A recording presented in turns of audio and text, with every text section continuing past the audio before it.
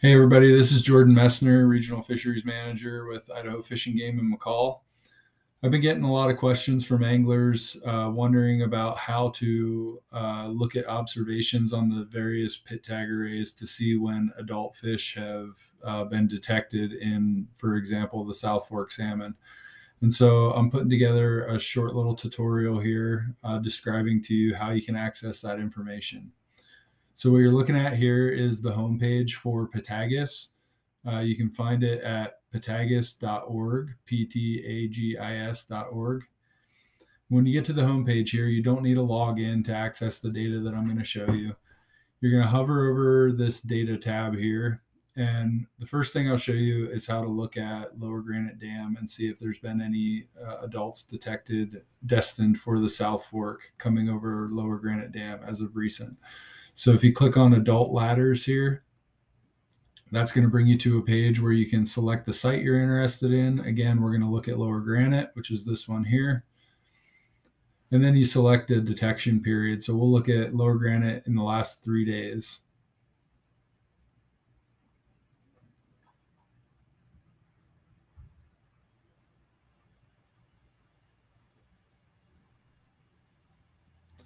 Once that data loads, you can go down and look at all of the pit tags that have been detected in the last three days at Lower Granite Dam. And it'll tell you what species you're looking at and where that species was released and then when they were released. So again, we're looking for South Fork fish in this example. So here's our first one, a hatchery summer Chinook marked at McCall Hatchery and released on the South Fork Salmon River in 2019. So this would be a three ocean fish.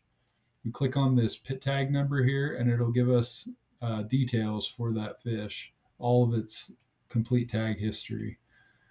So again, we can see that fish was marked in 2018 as a juvenile at the McCall Fish Hatchery. It was released into the South Fork on April 1st, 2019. It was not detected as a juvenile going downstream through the hydro system, but that happens sometimes.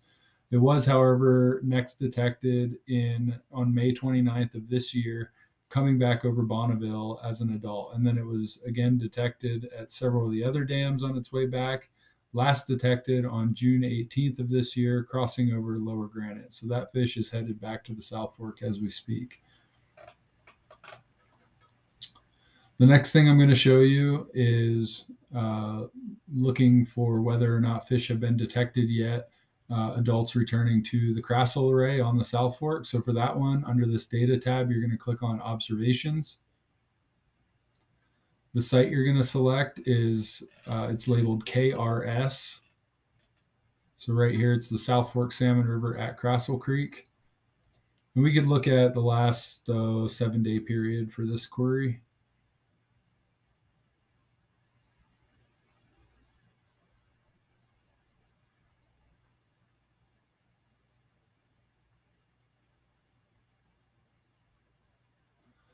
Once that data loads, uh, one thing I want to mention is this is just pit tag detections at this Krassel array. And so that includes downstream migrating juveniles that have been tagged, as well as upstream migrating adult fish.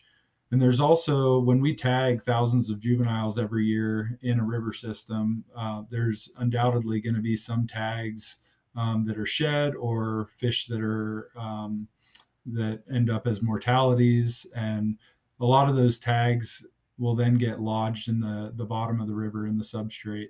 And then when we have high flow events like we did this year or like we are having this year those tags can become dislodged and then wash across the array.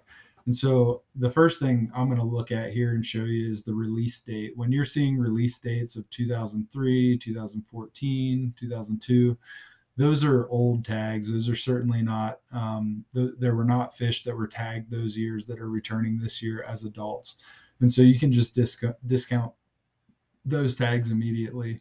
Um, the release dates that we're looking for are 2019, 2020, 2021, which would be this year's jacks, um, or even 2022. Uh, there's a chance that fish could be re- uh, tagged as returning adults coming back over one of the dams.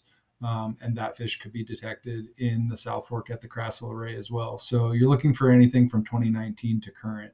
So the first fish we see here, 2019, tagged in 2019, is this hatchery summer Chinook. And when we click on that pit tag and look at the complete tag history, you can see that that tag was never detected in the hydro system at any of the dams. And so I'd be willing to bet that is not a returning adult.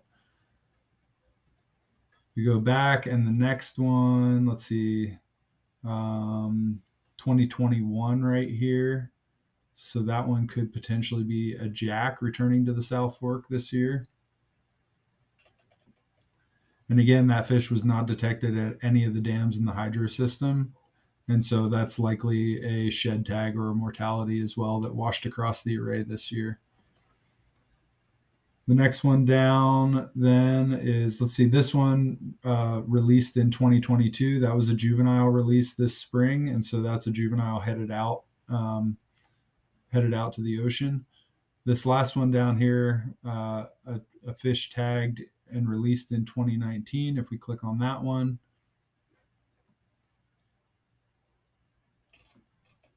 Again, that fish has not been observed at any of the dams in the hydro system, and so I would not consider that a returning adult.